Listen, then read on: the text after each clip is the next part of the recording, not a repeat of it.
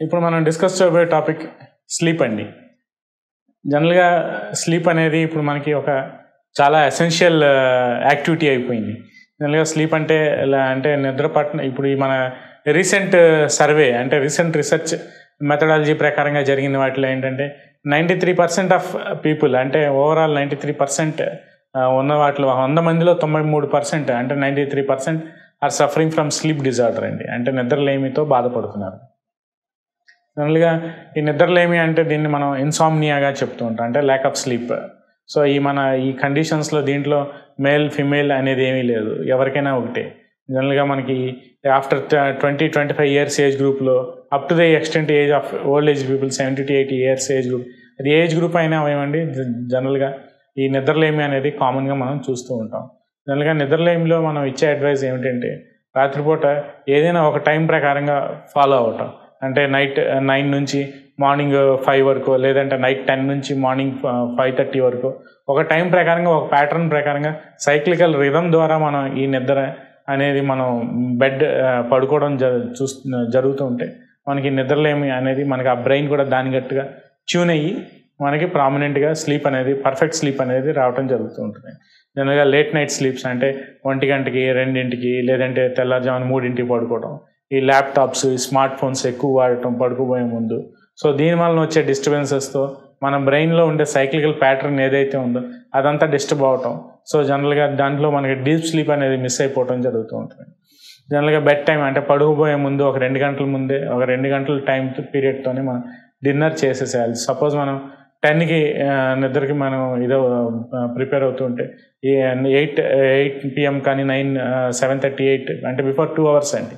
So జనరల్గా మనం light diet తీసుకుని లైట్ డిన్నర్ తీసుకుంటే మనకి పడుకోబోయే ముందు మనకి స్టమక్ అనేది లైట్గా హెవీ ఫీలింగ్ అనేది లేకుండా జరుగుతూ ఉంటుంది. లేదు ఇమీడియట్గా మనం ఫుడ్ తిన్న తర్వాత మనం బెడ్కి అంటే నిద్రపోవడానికి ఇది ప్లాన్ చేస్తూ ఉంటే దాంట్లో మనకు వచ్చే ప్రాబ్లమ్స్ ఎక్కువ ఉంటాయి. ఈ ఒబేసిటీ కానీ హైపర్ కొలెస్ట్రీమియా కొలెస్ట్రాల్ ప్రాబ్లమ్స్ కానీ లేదంటే ట్రైగ్లిసరైడ్స్ బ్లడ్లో పెరిగిపోవటం వల్ల కానీ స్టమక్ అనేది స్లో అయిపోవటం అంటే డైజెషన్ అబ్జార్ప్షన్ అనేది స్లో అయిపోవటం జరుగుతూ ఉంటుందండి. సో జనరల్గా మనకు ఒక టూ అవర్స్ టైం ఉండాలండి. జనరల్గా మనం నిద్రపోవడానికి భోజనం చేయడానికి నైట్ డిన్నర్కి సో మధ్యాహ్నం పూట నిద్ర అనేది మంచిది కాదండి. ఎందుకంటే ఏదో ఒక ఫిఫ్టీన్ టు ట్వంటీ మినిట్స్ ఒక షార్ట్ న్యాప్ అనేది బెటర్ కానీ కంటిన్యూస్గా ఒక వన్ అవర్ టూ అవర్స్ ప్రామినెంట్గా పడుకునే వాళ్ళు ఉంటారు మధ్యాహ్నం పూట. అది మనకి ఈ లైట్ నైట్ అంటే నైట్ పడుకోబోయే ముందు దానికి డిస్టర్బెన్స్ వస్తూ ఉంటుంది. సో ఆ టైం అనేది ఎక్స్టెండ్ అయిపోతూ ఉంటుంది. సో జనరల్గా short number of sleep is better అండి. మనకి మధ్యాహ్నం పూట ఒక fifteen to twenty minutes rest తీసుకోవటం వరకే మనం ఇచ్చేయాలి కానీ పర్ఫెక్ట్గా మధ్యాహ్నం కూడా ఒక టైం పెట్టుకుని ఒక వన్ టు త్రీయో లేదంటే టూ టు ఫోర్ మధ్యాహ్నం పూట రెస్ట్ తీసుకోవడం అనేది అంత కరెక్ట్ కాదు హెల్త్ పరంగా కూడా. సో దీంట్లో కొంతమంది రాత్రి ఈవినింగ్ అవర్స్ యోగా జిమ్కి వెళ్తూ ఉంటారు. సో బెటర్ అడ్వైజబుల్ ఏంటంటే మార్నింగ్ అవర్స్ అండి అంటే morning లెగగానే early morning before seven yoga exercise అనేది అడ్వైజబుల్ అండి. సో దీంట్లో రాత్రిపూట పడుకోవే ముందు ముందు మనం చెప్పే ఆహార నియమాలు టీ కాఫీ లేదంటే కూల్ డ్రింక్స్ కానీ కార్బోనేటెడ్ డ్రింక్స్ కానీ లేదంటే స్వీట్స్ కానీ ఎక్కువ హెవీగా మనం స్టమక్ ఇచ్చేయటం. ఈ టీ కాఫీలో కెఫీన్ ఇవన్నీ మనకి నిద్ర కూడా డిస్టర్బెన్స్ భంగం కలిగిస్తుంది నిద్ర భంగం కలిగిస్తూ ఉంటుంది.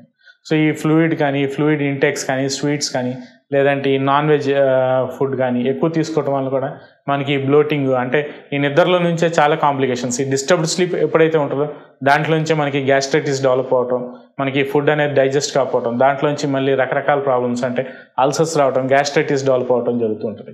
సో బాడీ అబ్జార్ప్షన్ అనేది స్టమక్లో ఫుడ్ అనేది ఎప్పుడైతే అబ్జార్ప్షన్ అనేది తగ్గిపోతుంటుందో అక్కడ నుంచే మనకి కొలెస్ట్రాల్ లెవెల్స్ పెరగటం ట్రైగ్లిసరైడ్స్ పెరగటం బ్యాడ్ కొలెస్ట్రాల్ పెరగటం. సో కరో మనకి మెయిన్ బ్లడ్ వెజల్స్లో బ్లాక్స్ రావటం ఒబేసిటీ అంటే జనరల్గా అబ్డామినల్ ఒబేసిటీ వచ్చేసేయటం జరుగుతుంటుంది. సో ప్రాపర్ ప్రామినెంట్ టైం పడుకుని healthy food healthy exercise yoga meditation చేసుకుని ఒక టైం ప్యాటర్న్ ప్రకారంగా ఫాలో అయితే మనకి ఈ నిద్ర అనేది ప్రామినెంట్గా మనకి సో ఇది మనకి పర్ఫెక్ట్గా నిద్ర పట్టడానికి ఛాన్స్ ఉందండి.